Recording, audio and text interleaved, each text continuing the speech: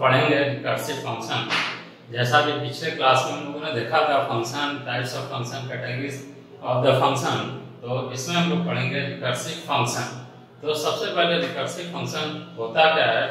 वो फ़ंक्शन जो खुद को कॉल करे, उसको कहेंगे recursive function means a function a function which calls itself is known as as recursive recursive function. मतलब वो फ़ंक्शन जो खुद को कॉल करे, उसको कहेंगे रिकर्सिव फ़ंक्शन और उस प्रोसेस को, उस प्रक्रिया को कहेंगे recursion and the process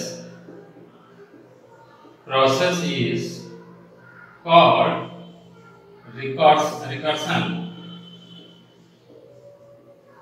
and the process is called recursion recursion तो कहने का मतलब यह है कि वो फ़ंक्शन जो खुद को कॉल करे means a function which calls itself is known as recursive function and the process is known as recursion. तो अब देखिए इसमें एग्जांपल क्या है? जैसे कैसे काम करता है। तो सपोज़ एक फ़ंक्शन दिया हुआ है। अगर वो फ़ंक्शन खुद को कॉल करे, जैसे देखिए ये एक फ़ंक्शन दिया हुआ है एक फ़ंक्शन है, और आगे जब इसके अंदर बॉडी में एंट्री करता है तो ये सारा एग्जीक्यूट करेगा स्टेटमेंट फिर जैसे ही ये आता है तो इसका मतलब ये खुद को फिर से कॉल कर रहा है। वही फ़ंक्शन नाम है।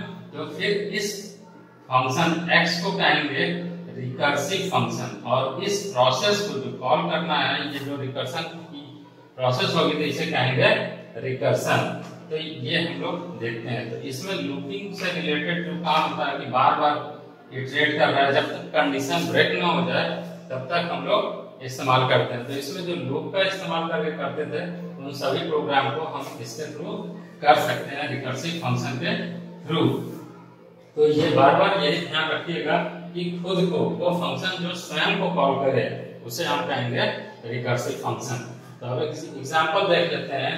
जैसे फैक्टोरियल में हम लोगों ने देखा था कि फैक्टोरियल कैलकुलेट करने के लिए।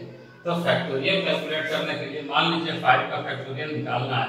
फैक्टोरियल ऑफ़ 5 तो ये होता क्या है? Five into four into three into two into one ये होता है। जो इसका रिज़ल्ट आएगा वन ट्वेंटी तो मतलब कि वो फ़ंक्शन देखिए यहाँ पर रिपीट हो रहा है, जैसे लूप में फैक्टोरियल फाइव तो फाइव का फोर का थ्री का टू का वन का।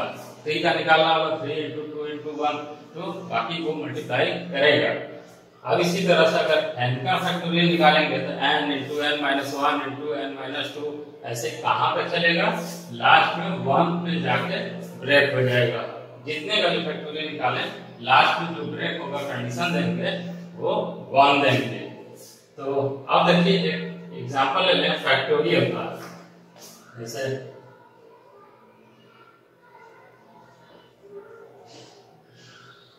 factorial of any number factorial of any number तो किसी भी दिए हुए नंबर का फैक्टोरियल निकालना है। यूजिंग रिकर्सिव फ़ंक्शन तो रिकर्सिव फ़ंक्शन मान लेते हैं कि एक हम फ़ंक्शन का नाम ले लें आर सी या कुछ भी ले सकते हैं एफ़ ले सकते हैं, जो भी यूज़र को समझ में आए तो आर सी हम लोगों ने नाम ले लिया फ़ंक्शन का और अगर हम फैक्टोरियल का निकालना है तो फैक्टोरियल किसका निकालना है? किसी भी नंबर का। तो हम इसमें पास कर दे रहे हैं इंटीजर टाइप जो डिक्लेरेशन फ़ंक्शन में होगा। तो बाद में देखेंगे ये आर्गुमेंट होगा नंबर ऑफ़ आर्गुमेंट मींस सिर्फ़ वन तो अगर हम फैक्टोरियल निकालेंगे तो किस टाइप की वैल्यू कैलकुलेट करेगा 5 4 3 2 1 वो भी इंटीजर होगा। इसलिए रिटर्न टाइप हम लोग इंटीजर को ही दे देते हैं। ये देखिए फ़ंक्शन बन गया। फैक्टोरियल जो फ़ंक्शन के लिए इस्तेमाल होगा R C number of parameter one और यहाँ पर इंट तो अब देखिए वर्ड वर्ड में अब यहाँ पे हम लोग लिखेंगे इसको और यहीं पर एक वैल्यू रीड कर लें। सपोज़ इंट एम एक वैल्यू रीड कर लिया जाए और इसमें वो लाट के स्टोर करेगा तो देख लें एफ़ ए सी ले लें और देखते हैं, फिर इसके बाद यहीं पे रीड कर लें। तो स्कैन है scan F percent sign D and percent M M की वैल्यू का रीड कर लिया। इट मींस ये जो बनेगा यहाँ पे एम और एम की वैल्यू हम लोगों ने यहाँ पर डिक्लेयर किया। एफ़ एस सी भी ले लेते हैं स्टोर कर लेंगे। तो एम की वैल्यू यहाँ पर कीबोर्ड से रीड कर लिया। Enter the number M suppose हम लोगों ने फाइव को रीड कर लिया। अब कैलकुलेट यहाँ नहीं करना, अब कॉल करना है। तो कॉल करने के लिए आर ई सी और इसमें एम को पास कर देंगे, जो यहाँ से कैलकुलेट करके वापस आएगा, इसमें स्टोर कर देंगे। इसमें स्टोर करेंगे एफ़ एल सी में।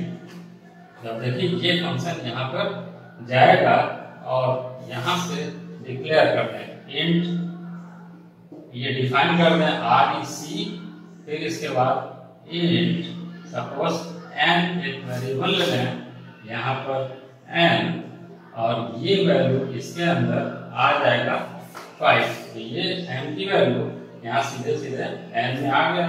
अब हम लोग यहाँ पे कैलकुलेट करेंगे if if N equal to one अगर एन की वैल्यू वन है तो वो कैलकुलेट नहीं करना वन ही आंसर आएगा। तो यही लिख दें रिटर्न रिटर्न वन वन को रिटर्न कर देगा। अगर वन नहीं है तो एस एस एक वेरिएबल ले लें एफ़ मान लीजिए कोई भी वेरिएबल तो एफ़ को यहाँ पर हम लोग डिक्लेयर कर देंगे इंट एफ़ तो यहाँ पे F N into R E C N minus one तो यहाँ देख सकते हैं कि हम लोग का जो कैलकुलेट करेगा एन की वैल्यू वन होगा, ये तो यहीं से रिटर्न कर देगा। एस जो भी एन की वैल्यू होगा, यहाँ पर लगा दें, ये एन मतलब जितना भी होगा R C N minus one तो ये देख सकते हैं कि यहाँ से आर सी कॉल कर लेगा जो एन माइनस वन है तो ये इसी को नंबर को कॉल कर देगा। फाइव है तो फोर हो जाएगा इस तरह से। अब हम ओवरऑल इसको स्टोर कर देंगे एफ़ में। एफ़ को यहाँ भेज दें तो यहाँ से रिटर्न रिटर्न एफ़ एफ़ को रिटर्न करा देंगे, और ये होगा, फिर ले जाके यहाँ पर वैल्यू प्रिंट कर देगा।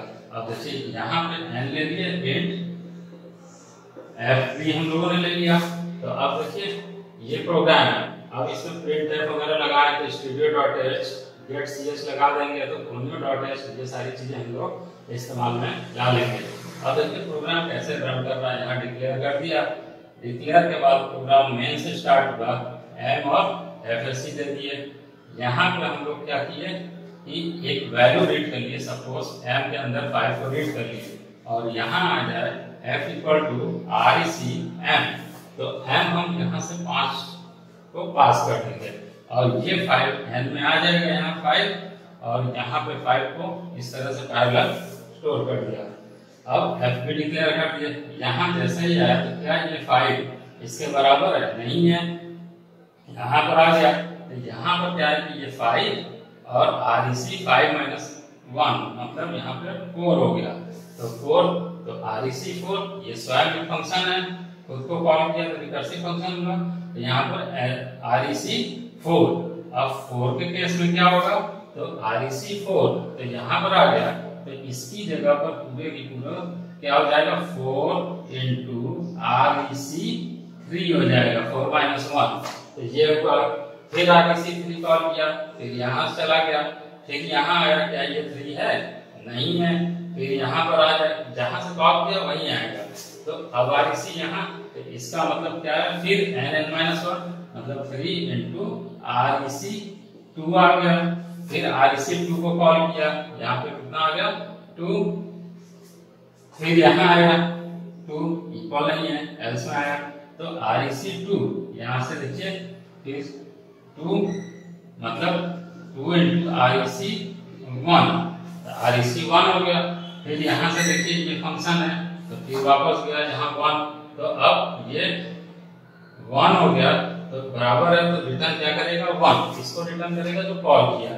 तो कॉल किया तो इसकी जगह वन तो आप देख सकते हैं five four three two one multiply के फॉर्म में है। तो ओवरऑल एफ़ में क्या स्टोर होगा?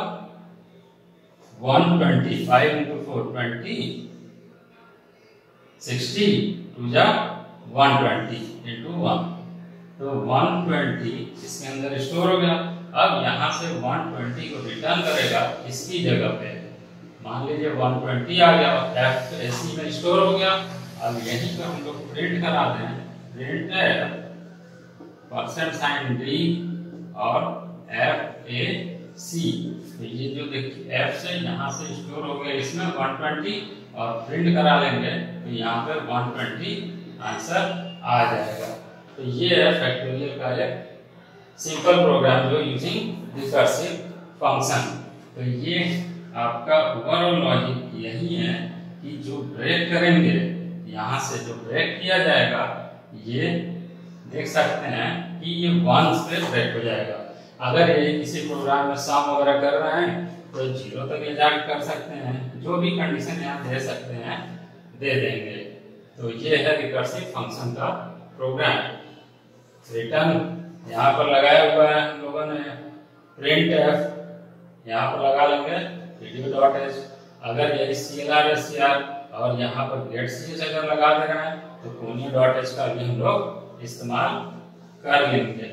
तो ऐसे आप कर सकते हैं इस फ़ंक्शन का इस्तेमाल करते हुए रिकर्सिव फ़ंक्शन इससे रिलेटेड कुछ क्वेश्चंस हैं जैसे sum of the series one plus two plus three plus four वो सेम प्रोग्राम है जहाँ मल्टीप्लिकेशन है वहाँ एडिशन हो जाएगा एन के थ्रू तो सम ऑफ़ द सीरीज़ दूसरा है जीसीडी जीसीडी ग्रेटर कॉमन ये ग्रेटेस्ट कॉमन डिवाइजर का प्रोग्राम आप कर लेंगे थर्ड है Fibonacci series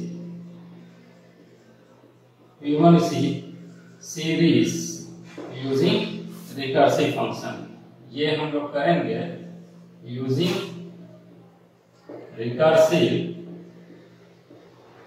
फ़ंक्शन तो इन प्रोग्राम को कर लेंगे रिकर्सिव फ़ंक्शन का इस्तेमाल करके। तो ये कर सकते हैं थैंक यू